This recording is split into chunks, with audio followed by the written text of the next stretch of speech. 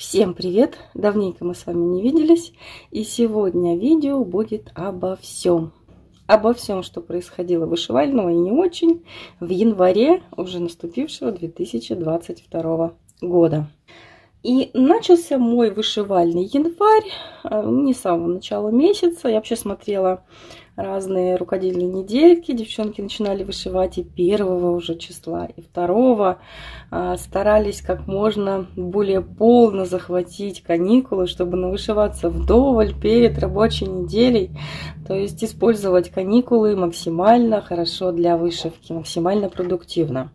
Мы же нет. У нас эти каникулы были такие, знаете, довольно активные, интересные, веселые. Мы Новый год справляли не дома в гостях. И перед Рождеством мы были в деревне, и, в общем-то, Рождество там, можно сказать, отметили. А, было это 6 числа, правда, 7 мы вернулись уже домой. И за ту, получается, неделю выходную, не 10 дней, мы объездили всевозможные елки, горки в нашем городе. В общем, повеселились на славу. Тем более погода позволяла, время позволяло. В общем, было здорово. Но аукнулись нам эти гуляния, конечно, в будущем. Но это ладно, это уже другая история. А, я приступила к вышивке где-то, наверное, числа четвертого, и то чисто символически. Я не хотела вышивать ничего большого, да и некогда, в общем-то, было. А, я решила взять вот такой вот маленький набор, совершенно случайно попавший ко мне в руки. А, огоньки птичка от Адриана. Сделай своими руками, да, по-моему, так. Ну, врать не буду, тут все на обложке написано, как правильно. В общем, вот такой вот замечательный фонарик. Мне он сходу понравился. Он такой яркий, интересный. Мне захотелось его вышить. И его как раз-таки вышивальщица Татьяна отдавала просто так, потому что ей эта серия не зашла по ряду причин. Какие-то были ошибки в схеме, насколько я помню, еще что-то. Ну, в общем, какие-то несуразицы. И э, два, два сюжета она вышила, а на третий уже у нее нервов не хватило. Но я вот забрала у нее этот набор в надежде, что я его когда-нибудь вышью. И это когда-нибудь наступило, в общем-то, достаточно Э, скоро. То есть 4 числа вот мне приспичило все-таки что-то такое небольшое повышивать, и я взялась именно за этот набор. Этот набор на пластике вышивается, то есть здесь вот такой вот маленький кусочек пластиковой канвы, он прям впритык, впритык абсолютно, а, то есть здесь прям, можно сказать, даже пожадничали, никакого запаса не оставили, все четко вот по, по картинке, по рисунку. Я принялась, в общем-то, вышивать на этой конве. То есть сделала здесь, буквально успела несколько крестиков и поняла, что мы с Татьяной выкладываем крестики в разном направлении. То есть э, верхний вот этот вот стежок покрывающий у Татьяны идет он э, из левого нижнего угла в верхний правый, а у меня наоборот. Ну, естественно, я тут же эти там несколько крестиков распустила и мне пришла в голову гениальная идея вышивать это не на пластике, а на конве. Но канва должна быть, конечно, какая-нибудь тоже такая поинтереснее. Ну, смысл на белой конве-то вышивать. Даже если взять равномерку, но все равно не то. По крайней мере, ну вот, хотелось что-то такого прям вот поинтереснее. А, подходящей канвы не нашлось, а зато мне нашелся вот такой вот отрез ткани. Это ткань для пучворка. Ну, по крайней мере, я ее покупала. Именно так я покупала ее когда-то в Леонардо для задников э, на сапожки новогодние. Вот такой вот у меня был такой приличный кусочек. Даже не знаю, сколько тут в сантиметрах. Тут что-то такое. Какой-то клей, который мне так и не удалось отклеить. Вот я кусочек здесь отрезала. И, в общем-то, начала я вышивать. Но, так как это просто ткань, и просто на ней вышивать крестики не получится, нужна была водорастворимая канва.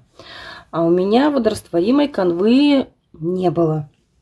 И поэтому я воспользовалась вот таким набором, который у меня тоже уже очень долго лежит, не вышивается. Думаю, ну, что лежит, я возьму и вытащу отсюда а, кусочек водорастворимой канвы. И он как раз подходил, он даже был немножко больше, чем необходимый рисунок. Ей-богу, лучше бы я купила, сходила, съездила вот другой а, кусочек этой водорастворимой канвы. Я когда-то давно покупала специально для того, чтобы вышивать на джинсовые куртки. Мне так понравилась водорастворимая канва, она так хорошо смылась. И вот то, что я взяла из набора, это просто небо и земля. Ну, в общем, суть до дела. Принялась я вышивать. И, в общем-то, собственно говоря, вот что у меня в итоге получилось. Близко не показываю, потому что это страшно. Я вышивала на водорастворимой конве. Конечно, я ее хорошенько э, пришила именно к основе. Я и по периметру прошлась, и по диагонали прошлась. Но все равно она немножко как-то ерзала, эта канва. И мои крестики, они просто ужасно кривые. Они просто вот, я даже, не знаю, слов не могу подобрать, они настолько кривые. У меня была надежда, что это может быть как-то исправится в будущем, но эта надежда растаяла очень быстро. Они как, остались, как были кривые, так и остались кривые. Ничего с ними э, не произошло в лучшую сторону.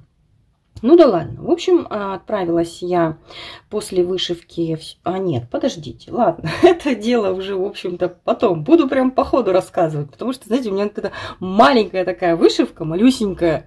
Приключений с ней, блин, целый ворох.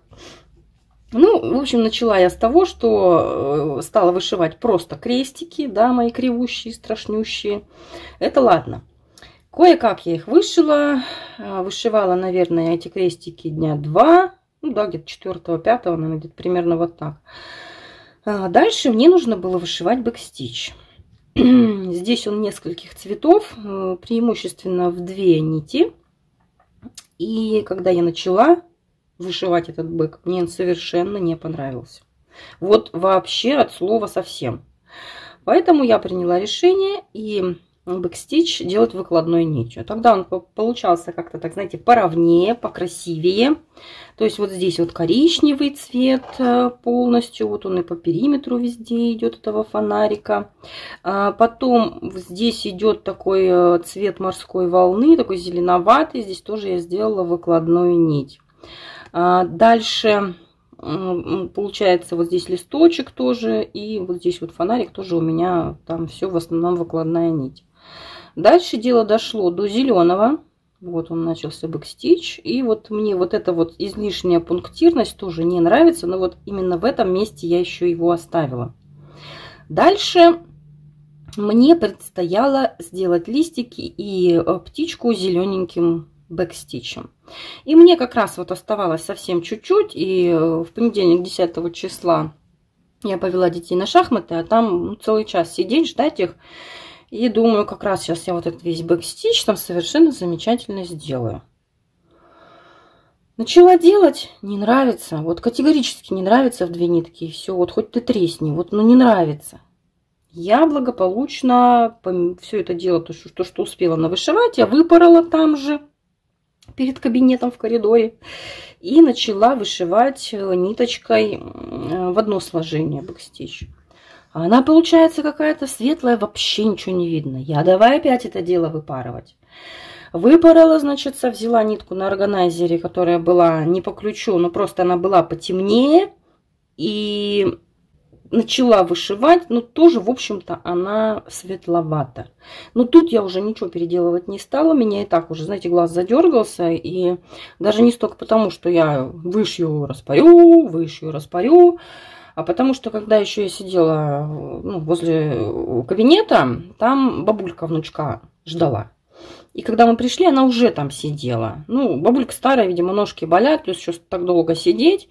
И вот она сидит и вот ноги свои растирает, вот это вот швырк-швырк, швырк-швырк.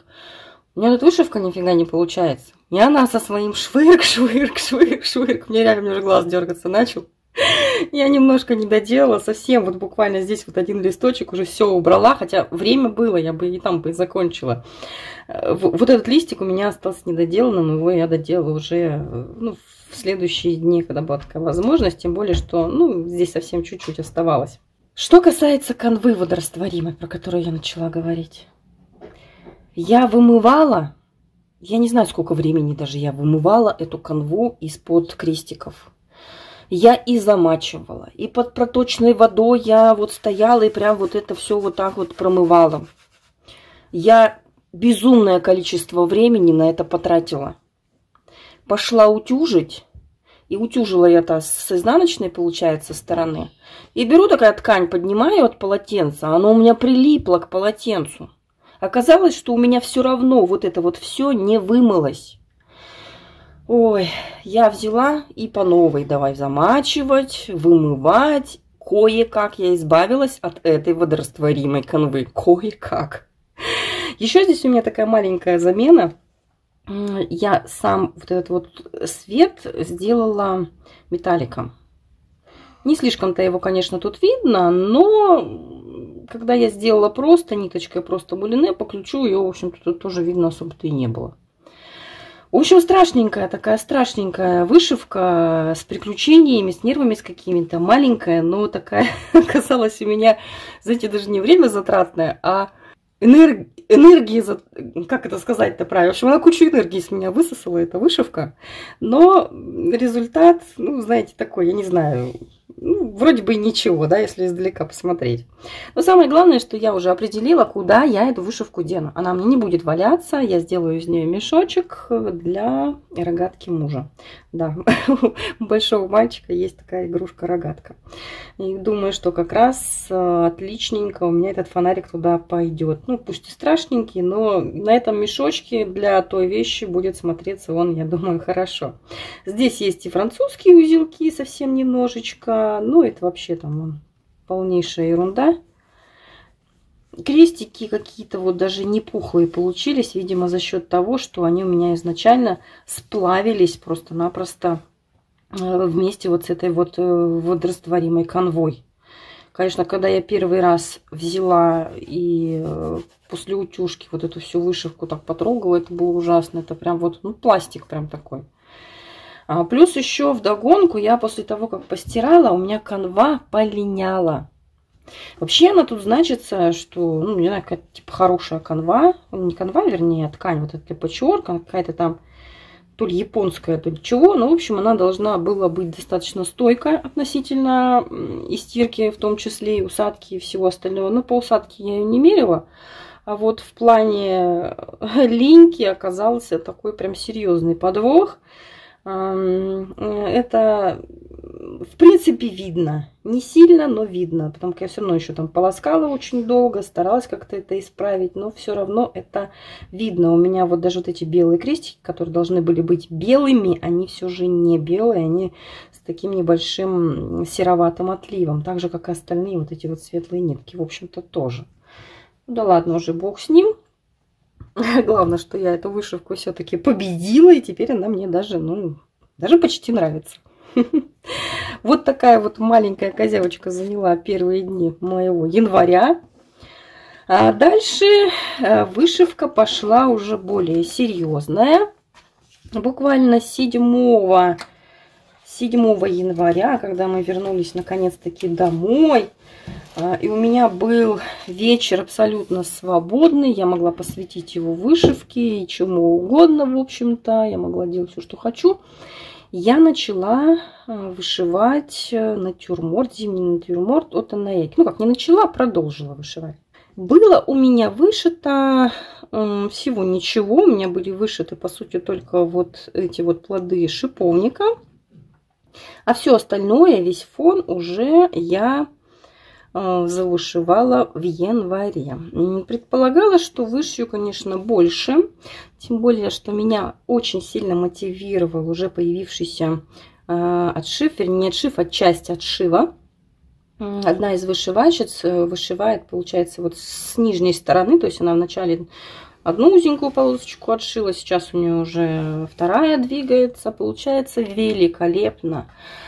Очень-очень красиво, объемно. Листики там вообще прям вот живые, такие, знаете, как э, отполированные, очень красивые. Но э, задержаться на этой вышивке долго мне, к сожалению, не удалось. В первую очередь мне очень и очень хотелось вышить эту надпись «Зима». Вот в самую-самую-самую первую очередь, не знаю даже почему так, мне хотелось увидеть объем именно вот этих букв. Они как будто действительно по-настоящему вот выбитые на столешнице. Ну, я так думаю, что это каменная столешница. Ну и вообще закрыть вот здесь еще этот скучный угол. Тоже хотелось побыстрее. Вот эта часть, она вышивается практически одним цветом. То есть это так достаточно быстро и довольно скучно. Здесь часть тоже не особо богата на оттенки. Ну, то есть здесь я все это дело проскочила довольно быстро. Также есть довольно большие области вышивки и э, в основании вазы. Ну, а здесь уже начинаются листья. Вот с этой стороны здесь лист начинается. Здесь уже, конечно, гораздо интереснее. Больший разброс стежков. Ну, в принципе, даже вот здесь можно, я думаю, видеть, да, как, эм, как это получается. Сейчас я вот так попробую сделать. Вот будет сфокусируется. Нет, не знаю. Ну, то есть здесь вот все листья, они вышиваются уже вот таким вот разбросом. Но зато это будет очень и очень красиво. Почему я эту вышивку отложила? А все потому, что мы заболели. Видимо, пока мы там веселились на горках, нахватали вирусов всевозможных. И буквально уже, наверное, где-то 11 числа у меня э, заболел сын. Ну и далее уже по цепочке заболела и дочь. Она болела у нас в этот раз вообще очень тяжело. У нее были проблемы с дыханием. Нам грозила госпитализация. Слава богу, ну, я не знаю, просто, наверное, слишком уже были переполнены больницы в Красноярске. И нам дали шанс остаться дома. К счастью, я очень рада. Мы все-таки проблемы побороли. Сейчас уже все в порядке у ребятишек. Хотя, ну, это было страшно, правда. Ну и, соответственно, эту вышивку я отложила, потому что на своем креслице благополучно я не сидела, я была с детьми, э, зачастую вообще совершенно невозможно было от них отойти. Ну и сидеть просто так, э, ну тоже как-то бывает и не прикольно, потому что, ну реально нужно просто сидеть и просто караулить. Это ну, тоже напрягает, нужно как-то все равно и вот эти плохие мысли как-то от себя отгонять. И хотелось отвлечься. Но вышивка мне нужна была такая попроще. И по бумажке, чтобы я могла вышивать по бумажной схеме, то есть не по электрону. И я взяла Санту. Вот он как раз мне оказался в тему, очень даже в тему. У меня здесь и бумажная схема, и вышивка несложная, и яркая, позитивная. То есть вот то, что у меня, в общем-то, должно получиться. И то, что у меня есть уже сейчас. Я вставлю картинку, как это было на момент начала вышивки в январе этой картинки. Ну, как видите, вышито у меня довольно много. А, я иногда просто совершенно практически бездумно вышивала сани. Здесь очень-очень-очень много полукреста, большими довольно-таки. Этот полукрест идет эм, кусками. Что-то я вот прям даже запинаюсь после всей этой свистопляски в январе. Как-то мысли даже плохо очень э, формулируются даже у меня. Потому что, в принципе, я была замыкающей э, в нашей четверке болезненных. Ну, в общем-то, сейчас тоже уже все хорошо, ну, почти все. Там какие-то а, побочки, остатки, это, можно сказать, не в счет. Но не будем о грустном, будем сейчас о хорошем. Я довольно серьезно продвинулась в своей вышивке. Я очень много, получается, вышила. Хотя некоторые моменты, знаете, я вышивала очень и очень медленно. У меня было много времени на то, чтобы вышивать. То есть легла себе на диванчик и даже не перетаскивала ничего, там ни лампу, никого. В принципе, мне было достаточно. Легла и там что-то ковыряю себя. Действительно ковыряю, я знаю, это слово многим не нравится. В принципе, даже мне не очень нравится в отношении вышивки. Но тут оно вот, ну как нельзя лучше подходит. Потому что это было реально вот тык-тык тык, тык. Медленно, но верно. Все равно я э, двигалась, в общем-то, к цели. Было легко на полукресте, несмотря на то, что он вышивается в три нити, и здесь такие большие участки, да, которые нужно зашивать одним цветом. А, тем не менее, были участки и посложнее, как, например, а, вот эта часть у саней, край, он вышивается крестиком в 4 нитки. Учитывая, что это аида 18 каунта, то ну, в общем, это пришлось потрудиться. Тем более, что две из этих четырех это были мулине, а две это был металлик. И для того, чтобы это было как-то маломальски ровно, ну, я не знаю, даже сейчас будет ли это видно, насколько у меня это получилось. Ну, я очень старалась, правда. Я очень старалась, чтобы у меня эти крестики были ровненькими. Вот они здесь вот по краешку идут все. Здесь два оттенка разных идут, которые с металликом. Ну, не всегда у меня, правда, получалось, но я очень-очень старалась. И, ну, в принципе, принципе, выглядит, мне кажется, довольно-таки неплохо. И такая свистопляска, она по всему идет, вот по всему, по всему, по всему краю. Вот здесь до самого, да, до самого конца, потому что вот с этой стороны тоже такие крестики есть. Есть эти крестики и в бубенцах, небольшое количество.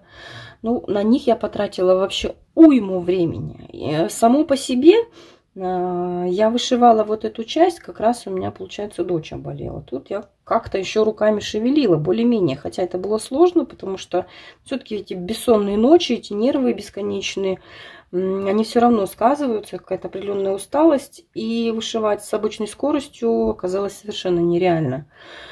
А вот с этой стороны я вышивала уже, когда болела сама, и тут вообще руки еле-еле шевелились. Я, знаете, мне было такое ощущение, что я в какой-то замедленной съемке. Медленно, медленно это все. Даже если двумя руками, все равно медленно. Прям жутко медленно. Ну, ладно, думаю, медленно, но верно. Вышила я, получается, здесь остатки вот э, инструмента. Сделала backstitch также. Здесь тоже все, что могла, ну, довышивала и а, backstitch вышила. Также и вот с этой стороны я вышила полностью весь вот этот мешок с подарками. Также бэкала, но, правда, еще пока не до конца. Немножко у меня здесь backstitch а остается вышить. Совсем немножко, буквально вот, вот в этой части где-то получается. Ну и на домике немножко, немножко фрузелков. Ну, в общем, здесь осталась прям сущая ерунда. А, нужно будет сделать бэкстич еще и на шапке, но это будет немного позднее, когда я сделаю еще и фон. Фон я вышивать начала буквально совсем чуть-чуть, и то только потому, что цвет, который используется в фоне, я им вышивала вот здесь вот синеньким на юле. Ну и длинный такой кусок оставался. Это бленд, чтобы мне его никуда не мастить. Я решила его, в общем-то, здесь вот и довышивать. И, в общем-то, остается мне по большому-то счету самая малость. Мне остается фон. Звездное небо и немножко, немножечко совсем букстича. И все. Не помню, сколько здесь по крестикам.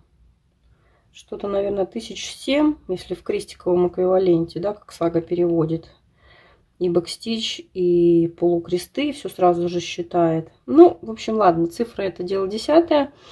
Тут, в общем-то, даже чисто визуально видно, что остается мне вот совсем-то и немного, да, вот. То есть вот, вот эту вот часть вышивать. Здесь о полукрест, насколько я помню. Ну, может быть, если только чуть-чуть крестиков вот здесь вот в самой луне будет, да, и вот этот черный. Так, вот этот черный у нас что? по полукрест идет. Вот. В общем, здесь дело пойдет, я думаю, что достаточно быстро. Я вообще думаю, что, может быть, уже, да и завершить этот проект. В конце концов, я его, считай, половину января вышиваю, даже больше, чем половину января. Потихоньку, помаленьку, и да уже довышивать его, да и все, как-то откладывать уже, в общем-то, его и не хочется. Вот так вот волею судьбы у меня эта картинка взяла и практически довышивалась, ну, уже почти до финиша. Остается совсем немножко. Вот такой небогатый, в общем-то, на вышивку у меня оказался январь. Обычно за месяц у меня сменяется довольно много процессов. Я под настроение беру то один, то другой, то большой, то маленький. А тут вот раз, два, три. Все. Но, правда, Санта у меня очень и очень хорошо продвинулся. А сейчас я вам покажу некоторые мои приобретения. Они все рукодельные, в общем-то. Один только есть у меня предмет, который ну, как бы не совсем рукодельный, но непосредственное отношение к рукоделию имеет. Не знала даже, что такие существуют. Итак, Одно из моих приобретений это вот такой небольшой наборчик. Это даже не набор, это остатки от набора. Я обложку достала заранее, чтобы не обликовала, чтобы можно было поближе показать. Это будут вот такие новогодние игрушки. Это будет продолжение серии флажков, которые у меня уже есть. Есть 4 штучки украшают уже мой дом. Но я, правда, буду немножко переоформлять. Но когда будут у меня еще некоторые вот такие вот сюжеты. Но они маленькие, они вышиваются быстро, такие забавные. Мне больше всего нравится, конечно, вот Санта с птичкой. А, ну и, наверное, вот Мишка тоже, тоже очень прикольный. Ну, вот эта птичка мне нравится, прям классная. Ну, не знаю, я, скорее всего, все-таки я вышью постепенно их все. Конечно, я не начну их прям вот сразу, сходу, ну, так потихоньку, маленько под настроение буду брать и вышью. В общем-то, здесь, в этих остатках, всего очень много, очень много осталось ниток. А, остался фетр неиспользованный. То есть мне здесь нужна, по сути, только канва. Ниток мне наверняка хватит на еще один отшив. Но если вдруг, вдруг чего-то не хватит, ну, я, в общем, добавлю. В этом проблем никаких нет.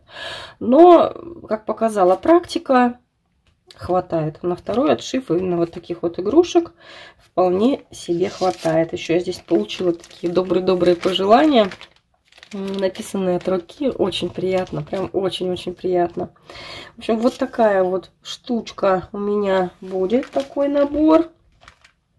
Дальше я приобрела схему, которую тоже довольно-таки давно хотела. Как-то я даже сомневалась, брать ее или не брать. Это ангел зимы от Lavender and Lace.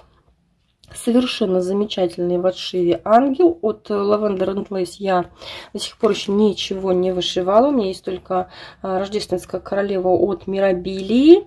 Но некоторые сюжеты, именно зимние сюжеты, это рождественские всевозможные, там ангелы, королевы и так далее.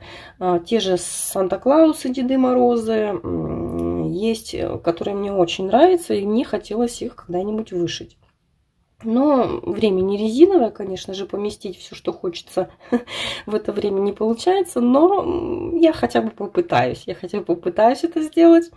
И вот одним из первоочередных моих вот таких вот э, а, проектов, которые мне хотелось бы осуществить, э, это именно вот этот зимний ангел. Схема, э, схему я купила с рук, потому что найти ее э, в свободном доступе у меня не получилось, увы. Но вот хорошо, я хотя бы с рук смогла ее купить, эту оригинальную схему. Не знаю, когда я начну вышивать, конечно. Ну, это, наверное, как вдохновение на меня сойдет. Но самое главное, что сама схема у меня уже есть. Также я уже приобрела канву. Ну, то есть это как не канва как таковая, да, это идет э, равномерка, наверное, да. В общем, вот, смотрите, как это называется правильно. Как-то интересное название такое у цвета, вот у этого серого. Врать не буду сейчас, уже когда будет у меня на руках, буду показывать, я уже тогда название точное скажу. Но я брала, вот мне хотелось ткань именно по ключу. Вот именно так, как советует дизайнер. Э, тоже я хотела приобрести, нигде не нашла. Потом девочки сказали, что идет совместная закупка и будут самые разные ткани привозиться непосредственно из Германии. Но э, так получилось, что только я в эту закупку записалась, тут же мне предложили, опять же, с рук купить э, кусочек этой ткани, ну, соответственно, намного дешевле. Поэтому я из совместной покупки тут же сразу же обратно удалилась, пока была на то возможность. И приобрела кусочек ткани, остается только забрать. Также здесь используется еще и бисер, но его здесь сколько? Вот раз, два, три, да, вот этот вот 20-26 тоже был в наличии. Остается мне найти только два вот этих номера. И все, крейник, по-моему, у меня... Ну, да, вот крейник еще я потом посмотрю. Ну, вот самое основное для того, чтобы во всяком случае начать это вышивать, у меня, в общем-то, уже вот практически есть. Потихоньку, помаленьку, вот оно собирается, и, в общем-то, уже вот можно вышивать. Вместе с этой схемой приехали такие приятные мелочи. Это вот такой вот сувенирный набор от Триолис, но это ребятишкам моим достанется он. А потом вот такие вот прикольные штуки Смотрите, красивые разные. И вот эти клевые пуговки деревянные. Вот деревянные пуговки я вообще люблю. Классные. Ну, тоже куда-нибудь я их обязательно приспособлю. Вот такая вот у меня, такие были приобретения небольшие.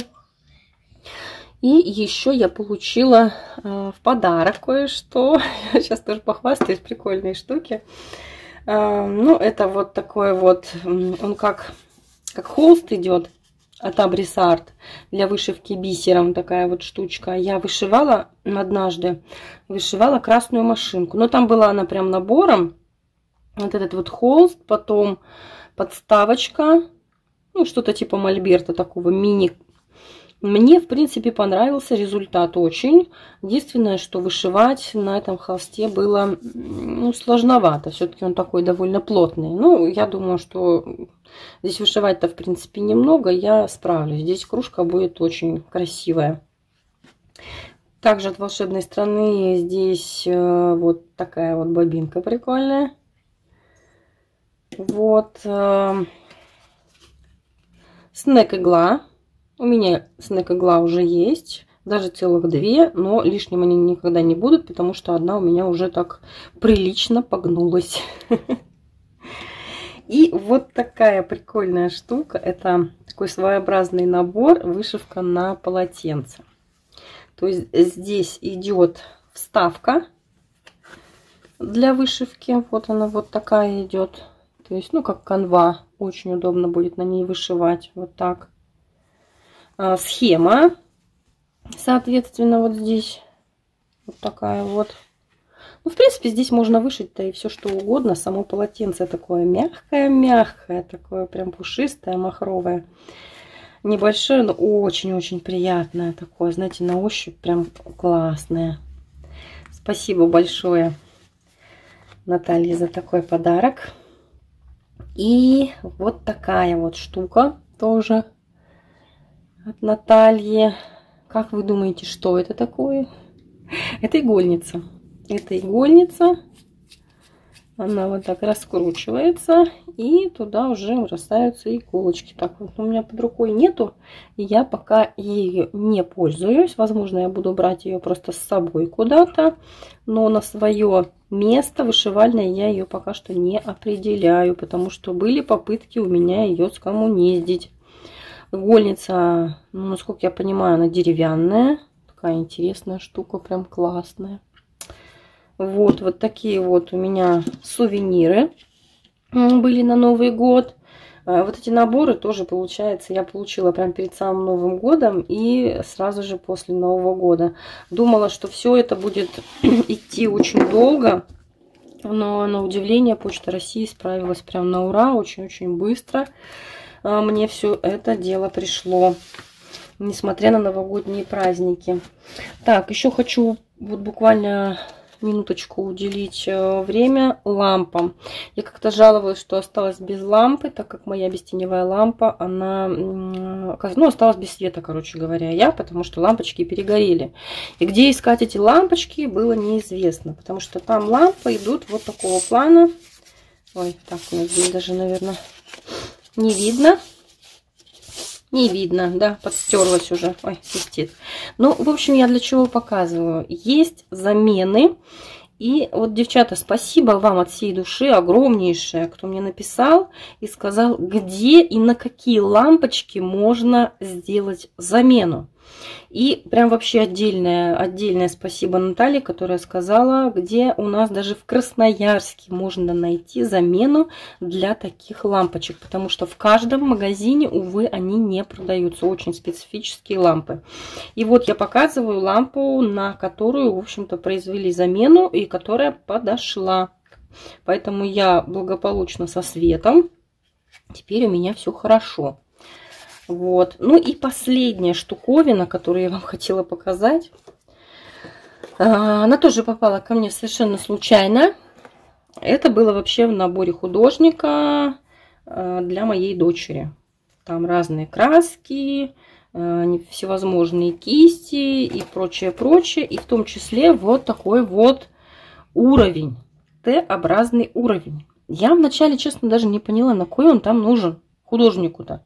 Но уже разбираясь с инструкцией, я только тогда поняла, что это штуковина, этот Т-образный уровень может оказаться очень и очень полезным именно вышивальщицам. Потому что с его помощью можно ровно и аккуратно вешать картины наши вышитые. То есть здесь замеряется точка у самой картины. Так, Здесь видно. Вот, вот здесь лучше будет видно, я думаю. То есть замеряется точка у самой картины, как она должна висеть.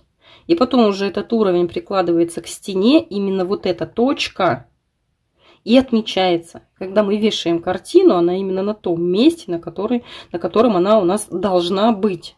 Чтобы не было вот этих вот, да, бывает, что вроде бы, э, ну, как я гвоздики не вбиваю, да, получается мне это проще я крючочек просто на леске заворачиваю на нужном мне месте. Но и даже так, я картину вешаю за счет того, что идет прогиб а, вот либо веревочки, либо лески, которая есть у картины. И картина получается не на том месте, на каком она мне нужна. Она получается ниже или выше, да, вот за счет того, что оно раз вот так вот и подвинулось.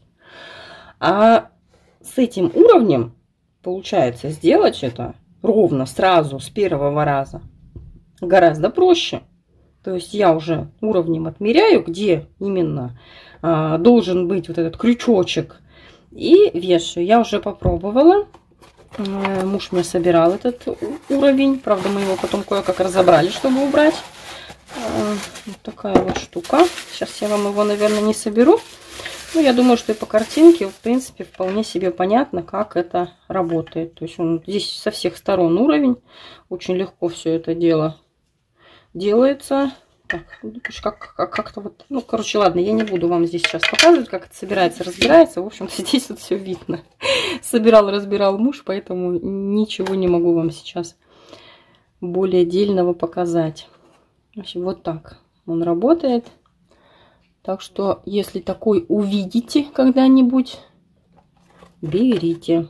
Очень полезная штука оказалась. Вот так вот. Ну, он, конечно, не только для картин, он и вообще для всего-всего. Ну, здесь он позиционируется как вот для художников, да, но мы чем с вами не художники. И еще я вам хотела кое-что показать. У меня тут целая, смотрите, пачка, да, целых три папки. Я думаю, что многие узнали уже, что это такое. Что это СТ. Здесь у меня остатки, здесь у меня набор новый набор из Т, я получила совсем недавно. И я до сих пор нахожусь в сомнениях, показывать ли у себя на канале, что внутри. Потому как последние обстоятельства, то, что происходит сейчас в соцсетях со схемами, а, схемами самыми разными, дорогими, недорогими, в общем-то, неважно. важно воровство, просто воровство действительно доходит до такого абсурда, когда люди даже ни капельки не стесняются. Если раньше воровали схемы, пиратели, ну даже у меня были какие-то пиратские схемы, по которым я вышивала когда-то давно, просто где-то, может, по незнанию, наверное, скорее всего. Потому что когда я больше окунулась вообще вот во все это, эм, я перестала пиратить, перестала скачивать эти бесконечные схемы. Я их совершенно легально покупаю у дизайнеров. Меня даже часто спрашивают, а где вы свои схемы берете? Ну как где? Ну, производителя где? Напор у производителя, схему производителя. И не надо говорить про дороговизну. Ну да, где-то дорого, но где-то-то есть совсем недорого. А воруют-то все подряд, все, что плохо лежит, и дорогое, и не очень. И, в общем, мне, конечно же, хочется, мне хочется вам показать, поделиться своей радостью, да, те, те сюжеты, которые я планировала вышивать. Тем более, что этот вот набор новый, а эти остатки у меня уже довольно давно лежат, как бы одни с прошлого лета, одни еще раньше. Я как-то все собираюсь показать, показать, все собираюсь, собираюсь. Но чем дальше, тем, тем меньше у меня остается этого желания. Знаете, такая борьба с собой. Вроде бы и хочется, а с другой стороны я просто не хочу кормить вот этих вот ушлых тетенек, которые перепродают ворованные схемы. Вот и как быть, я не знаю. Вот с одной стороны вроде бы и хочется, с другой стороны и чего-то и не хочется. И вот, в общем, я не знаю все-таки, что я решу, покажу я в итоге все-таки это все. Либо я, может, покажу только, когда начну вышивать. Эм, ну, не показываю до сих пор еще вот именно как раз-таки вот относительно этой уже вот ну, действительно абсурдной ситуации, ну, просто у которой нет, я не знаю, никакого уже объяснения, кроме как нажива некоторых товарищей. А очень многие люди ну, ведутся просто-напросто, кормят и мошенников, и воров. Я не боюсь уже этого слова, потому что ну, в некоторых случаях под другого слова просто уже ну, не подобрать абсолютно. Ой, ну, когда что-то показывается, какой-то сюжет э, на каналах на YouTube, многие его видят, э, многие хотят, и естественно, спрос рождает предложение. Тут же вот многие вот эти товарищи предприимчивые, они находят эти схемы и начинают их перепродавать. То есть чужие схемы, чужой труд, они перепродают и зарабатывают вот на чужом горбу себе деньги. А, ну, мне не хочется кормить этих людей. Вообще не хочется никак. Но волей-неволей у меня это получается, потому что ну, я показываю, я, ну как, не знаю, мне опять же хочется поделиться. Ой, не хотелось, конечно, мне на такой печальной ноте заканчивать свое видео, но ну вот так, вот так я как бы просто, наверное, пытаюсь объяснить, почему я показываю, по крайней мере сейчас, не все. Я никогда не делала каких-то особых интриг, меня, знаете, как говорится, кипяток не держится в одном месте. Я всегда показываю то, что я собираюсь вышивать, что я купила. Но с некоторых пор ситуация несколько изменилась. И какие-то схемы, какие-то наборы я оставляю для себя и только для себя. Только самые близкие мои вышивальные подруги, они в курсе того, что у меня есть, что я купила. Но вот на большой экран, да, для широкой общественности я пока решила это все дело не показывать. Ну, не знаю, может быть, конечно, желание поделиться радостью у меня все-таки пересилит, или, может быть, как-то ситуация вообще в целом несколько изменится, я не знаю. Поэтому, ну, в общем, я объясняю, почему это так. Вот. Ну, все равно, я надеюсь, что все будет хорошо.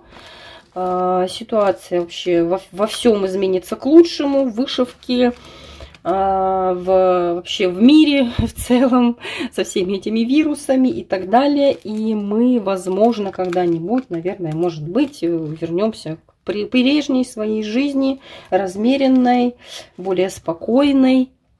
Я на это очень надеюсь и всем вам этого желаю. Ну и на этом все. Вот таким вот был мой, мой э, вышивальный и не очень вышивальный январь. Всего вам всем самого-самого доброго и пока.